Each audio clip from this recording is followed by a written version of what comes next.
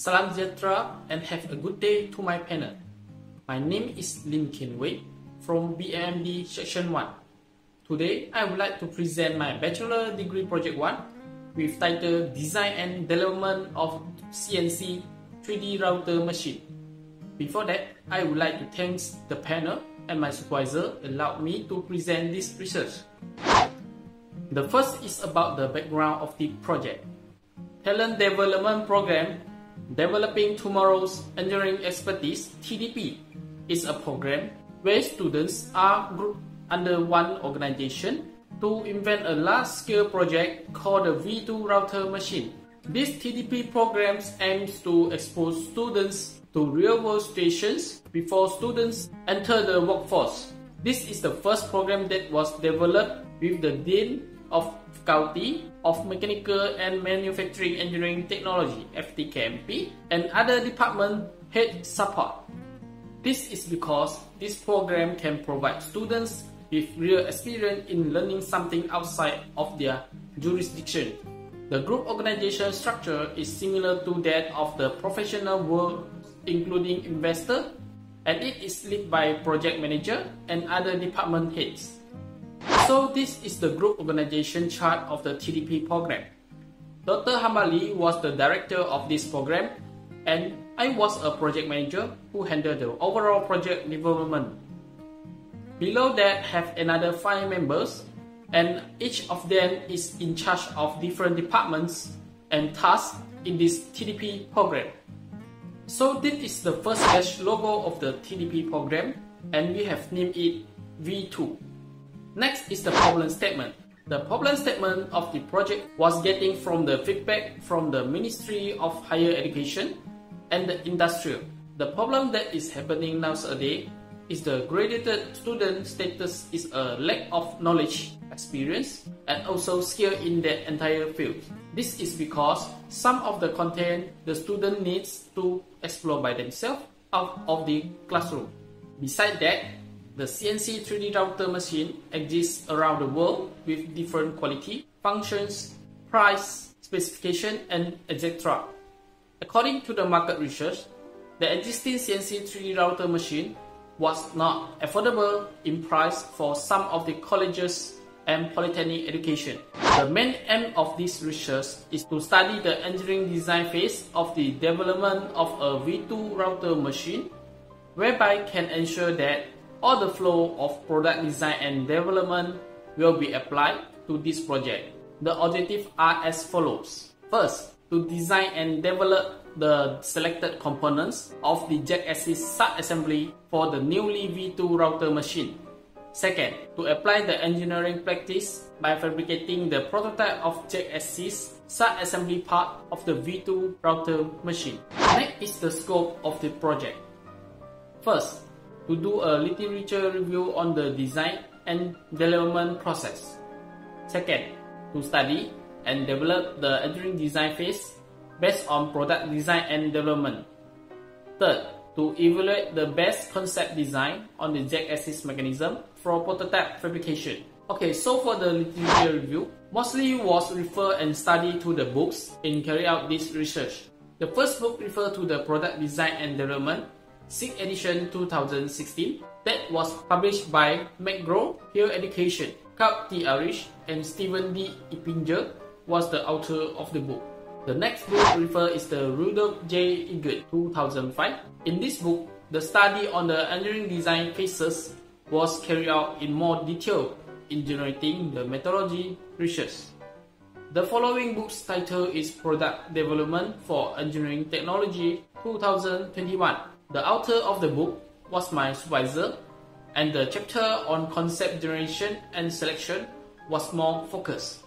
The last book is the Manufacturing Engineering Technology 2010. The author of this book is the Serope Kalpakjian and Steven R. Schmid. For the fabrication, the process topic will refer to this book in carry out the research. So this is my research methodology for chart.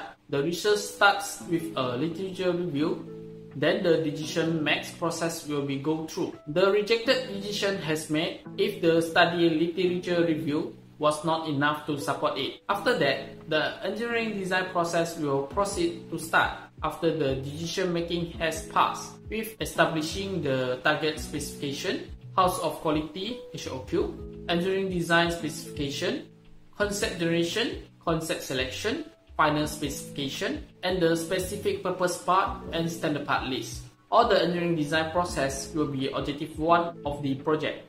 The fabrication process of the jack assist components will proceed when objective 1 is achieved. The activities will carry out during the fabrication process such as machining process, machining process plan, specification of machine use, and tools for fabrication. When all the machining part was done, the fabrication or assembly activities will proceed to join up until all the specific purpose part and standard parts into a sub-assembly for the jack assist mechanism. The process was done and the beta prototype is ready. Okay, so this is the Gantt chart of the PSM1 activities. All the activities have been planned and carried out according to the chart from week 1 until week 14. The literature review is done by a systematic approach. All of the information in chapter 2 were gathered from Mendeley software, Google Scholar, ResearchGate, and other websites. The information found used keywords such as CNC router machine, CNC controller, product design and development process, and other that are relevant to this project. Okay, so for the first design and development process, the benchmarking process will carry out to benchmark the existing CNC router machine on the jack assist mechanism. The figure of the machine and details features will be listed in the table. After the benchmarking, the House of Quality HOQ process will carry out. The voice of the customer VOC in this research will refer to the benchmarking of the existing machine. Since the market nowadays has a lot of CNC router machine already, so after the benchmarking process carried out, the engineering design specification EDS will be generated. All of the components of the jack assist mechanism will be listed in the table with detailed specification and whether it is a specific purpose part or standard part. With the engineering design specification, the concept generation will be carried out. In this research, the combination table will be applied to generate the concept with the subfunction of the jack assist mechanism. From the combination table, each subfunction has at least two or more concept solutions with the metric calculation. After the concept generation process, the concept selection process will be going through. The weight rating method has been applied in this research by evaluating concept concerning customer needs and other criteria comparing the relative strengths and weakness of the concept, and selecting one or more concepts for further investigation, testing, or development.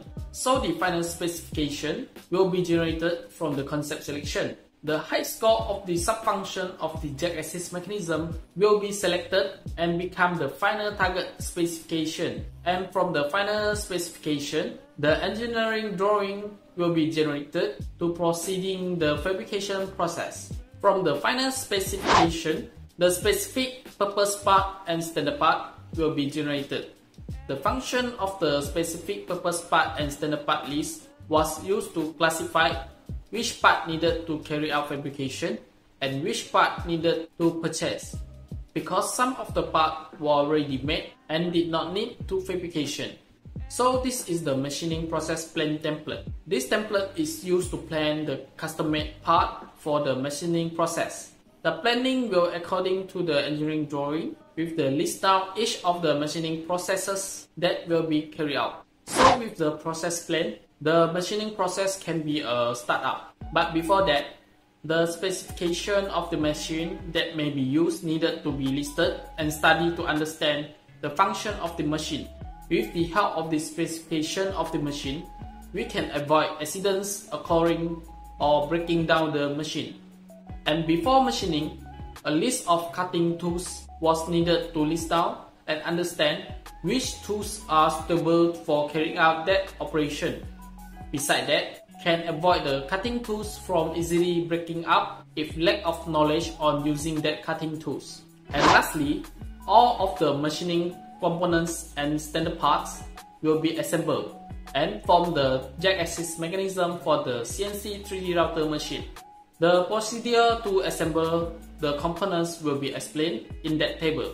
So this is the expected result for the jack axis mechanism. It also was a preliminary result with the help of 3D CAD software. According to the figure, it has some components listed as the standard parts, which are the stepper motor, ball screw set, spindle, coupling, limit switch, and the linear reel. So, that is all about my research in PSM1 on the topic of jack axis mechanism of the CNC 3D router machine. Thank you. 为谁而虚假？One two three four。